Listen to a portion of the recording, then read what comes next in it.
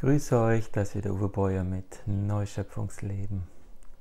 Ja, wenn wir so in die Umgebung schauen von uns, sehen wir, dass da vieles sich jetzt am Transformieren ist und auch am Bewusstwerden ist, am Bewusstwerden, wo wir hier gelebt haben die letzten Jahrtausende und ja, vielen wird jetzt bewusst, dass auch diese Matrix, die da aufgespannt wurde, sehr, sehr, ja, durchstrukturiert und auch sehr durchzogen war. Auch vieles, wo wir geglaubt haben, dass das von einer sehr guten Energie getragen ist und auch von einer sehr liebevoll, lichtvollen Energie spüren und sehen wir jetzt durch gewisse Statements auch von bestimmten Firmen, dass da doch eine Indoktrinierung ja, stattgefunden hat und dies dann jetzt auch klar wird. Diese Klärung musste jetzt sein, weil ja alles sich in dieser Neustrukturierung, in dieser Neuordnung befindet. Und ich habe dieses Beispiel schon mal gebracht. Es ist so, wie wenn du eine klattnische Klangfigur anschaust, wenn du mit dem Geigenbogen an einer Metallplatte vorbei ähm, streichst und da dann zum Beispiel feinen Sand auf diese Metallplatte streust und wenn du dann von oben schaust, bilden sich Muster. Und diese Muster sind diese klattnischen Klangfiguren Figuren und wir sehen da, dass Klang auch Information behält, also im Klang auch Information ähm, enthalten ist und diese Information bringt etwas in Form und zwar in ein Muster. Und dieses Muster ist so eine Art, ja, auch eine Art, ich möchte mal sagen, äh, wie wir es kennen, von diesen Symbolmustern, zum Beispiel wenn wir jetzt schauen, diese äh, Blume des Lebens oder ähnliches. Es ist anders noch wie die Blume des Lebens, aber es hat schon diese weichen und auch wellenförmigen Muster, die sich dann abbilden. Und je nach Platte, wenn die rund ist, sind die anders, als wenn die Platte viereckig ist. Und wenn die Platte acht Ecken hat, zum Beispiel wie ein Stoppschild zum Beispiel, dann ist das Muster auch wieder anders. Und je nach Klang und Klangfarbe und Vibration, also die entsteht ja dann aus diesem Vorbeistreichen, bilden sich jeweils immer neue Muster. Und wenn wir jetzt einen Lautsprecher unter diese Platte tun, unter diese Metallplatte, und ähm, den Ton langsam erhöhen, also so ui, immer höher, dann sehen wir, dass dieses Muster gleich bleibt, sehr lang.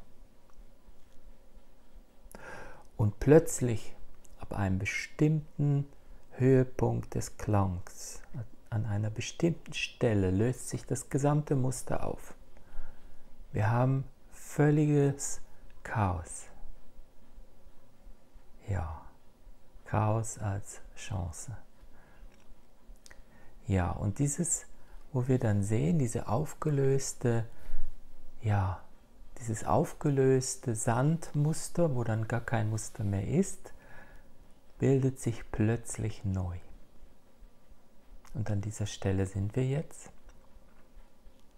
Und dies hat damit zu tun, dass die Energie, das Bewusstsein auf der Erde im Moment exponentiell steigt. Und das hat zur Folge, dass dieses Muster, dieses Bewusstseinsmuster, das auch die Erde bildet, die Erde ist ja ein Bewusstseinskondensat, ein bewusstseinsenergetisches Gebilde, das sich aus einem bestimmten, ich sag mal, Bewusstseinsraum, aus einem bestimmten Bewusstseinsklang Raum heraus kristallisiert, kondensiert hat. Und die Erde ist dann zu sehen als ein, ja, ein, ein Ort, an dem das Bewusstsein der Erde sich zur Verfügung, Verfügung gestellt hat, dass viele Bewusstseine in diesem oder auf diesem oder auch in diesem Bewusstseinsraum dürfen und können sich dann entwickeln oder auch noch weiter ja, bewusst werden, zeitlich gesprochen. Und dieses Ganze, wo jetzt im Moment stattfindet, hat ja noch einen anderen Aspekt, der mir von der geistigen Welt ja gegeben wurde und gezeigt wurde. Das ist dieser Aspekt oder dieser Punkt, dieser Nullpunkt, den die Erde darstellt und wo die Erde anscheinend ein ganz spezieller Ort, einen ganz speziellen Ort darstellt im Multiversum. Und es hat nicht nur mit dem Ort zu tun, in dem, an dem die Erde sich sozusagen befindet, unser Sonnensystem, aber auch unser ganzes Universum im Multiversum, sondern es hat auch mit einer energetischen Resonanz zu tun. Also es hat jetzt nicht nur damit zu tun, dass die Erde an einem bestimmten Ort ist, sondern es hat auch, wie gesagt, mit einer Resonanz Energie oder mit einem Resonanzpotenzial zu tun. Und die Erde ist da jetzt im Begriff und auch im Griff sozusagen der Liebeslichtgottheit, sozusagen, ja, trägt sie die Erde jetzt auf der Hand oder auf Händen, kann man auch sagen, Yin und Yang. Und dieses Ganze, wo jetzt da im Außen stattfindet, ist jetzt gerade diese Auflösung zu diesem neuen Muster und auch gleichzeitig ein Bewusstwerdungsraum, eine Bewusstwerdungsmöglichkeit, die uns hier jetzt dargeboten wird, damit wir sehen, was hier wirklich auf der Erde für eine Matrix aufgespannt wurde über die letzten Jahrtausende. Ja, und dieses Ganze ist natürlich auch für viele, viele eine Enttäuschung. Hm, für mich nicht so ganz, weil ich habe das Ganze jetzt über ja, 35 Jahre schon im Blick und auch davor schon. Als Kind habe ich immer gedacht, wo bin ich hier gelandet? Und es geht bestimmt vielen von euch auch so, dass die immer gedacht haben, wo bin ich hier? Was ist hier los? Und mir hat man dann aber auch schnell gezeigt, was hier wirklich los ist. Man hat mir auch die dunkelsten Energien, Bewusstseinsmöglichkeiten gezeigt und aber auch, wie ich glaube, wie ich meine zu sehen, die hellsten. Sozusagen beide Möglichkeiten dargelegt. Und dazu kam dann noch die Erklärung eben, warum dieses ganze Spiel so stattgefunden hat. dazu möchte ich euch dann noch mehr sagen in der kommenden Woche. Ich werde da ein Live machen und ich gebe dann noch über Newsletter Bescheid, aber auch auf meiner Website und auch kurz vielleicht hier über diesen Kanal. Ähm, ja, wann das genau sein wird. Ja, wir werden dann noch tiefer reingehen in die ganze Thematik, auch was jetzt hier auf der Erde im Moment gerade so stattfindet und aber auch was ja für eine Zukunft da jetzt schon für uns eine nähere Zukunft für uns jetzt schon ja, in Resonanz geht und in uns aufglimmt.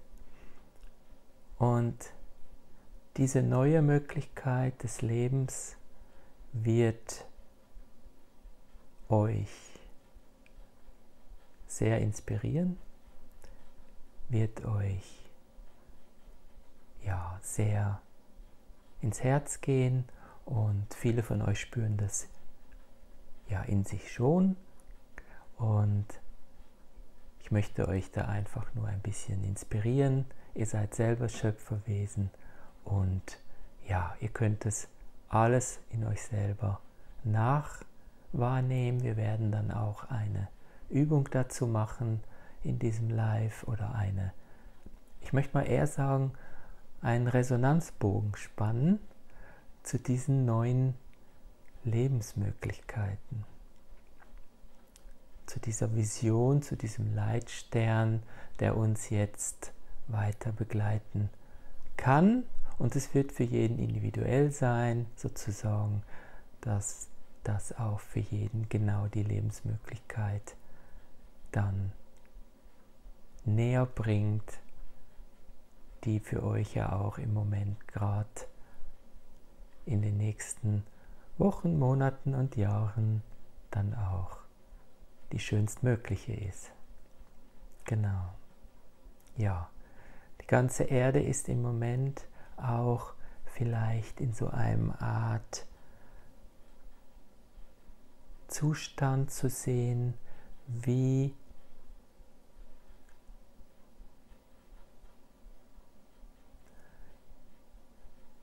ja, wie er so ein bisschen ist vor einem, ja, ich möchte fast sagen, vor einem Start eines Liebeslichtraumschiffes. Das ist jetzt mal kein Beispiel aus der Natur, ich könnte euch nachher noch eins anführen, aber ich möchte trotzdem mal dieses Beispiel, wo die Triebwerke sozusagen ja sich im Moment gerade so aufladen mit Energie und das gesammelt wird, so als in einem Attraktorbereich sich kondensiert, zusammenzieht, akkumuliert, um dann zu starten. Und dies alles findet im Moment so statt. Die Triebwerke sind sich am Aufladen. Wir hören sozusagen eine Art Countdown, der runterzählt auf Null und die liebeslichtgeistige Welt hält den Atem gerade so ein bisschen an, ist aber gleichwohl sehr, sehr tätig, aber sie schaut sehr mit einer gewissen, ja, Freude, stillen Freude, aber auch mit so einer Herzenskraft,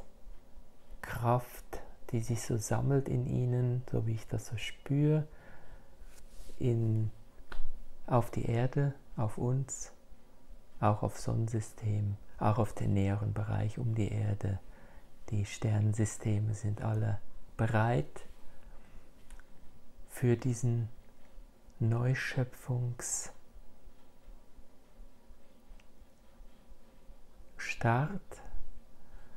Und diese Energie fließt jetzt durch euch auch durch. Ihr spürt diese Energie immer besser und es ist so, dass die, ich möchte mal so sagen, die, ich sag's wie es ist, in der äußeren Ebene auf den Astralebenen und jetzt auch immer mehr auf der Erdebene ist die Schlacht geschlagen und wir sind jetzt dabei oder wir sind jetzt so in dieser Phase, vielleicht ist dieses Naturbeispiel für euch, wenn ein liebes Licht Tsunami kommt, dann weicht erstmal das Meer zurück, das Wasser geht zurück. Und wir denken,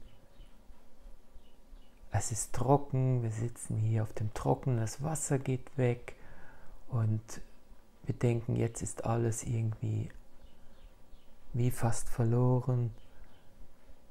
das Meer weicht zurück sozusagen. Und dann kommt aber dieser Liebeslicht-Tsunami und ja, es wird dann auch alles, wo nicht zu diesem Lichtliebes-Tsunami gehört, zu dieser Welle, dann auch, ja, hinterher nicht mehr da sein, so dass diese, dieser, dieser neue Morgen, dieser neue Tag, dieser ewige neue Tag, dann auch so beginnt dieser neue Morgen von diesem ewigen neuen Tag, dass der schön ist, dass diese Kämpfe aufgehört haben und auch, dass wir wieder mit unserer liebeslichtgeistigen Familie auf allen Ebenen wieder zusammenkommen werden und das größte Fest, das es je im Multiversum gab, zusammen feiern. Ja, in diesem Sinne möchte ich euch eine wundervolle Zeit wünschen, eine Zeit voller Wunder. Euer Uwe Breuer.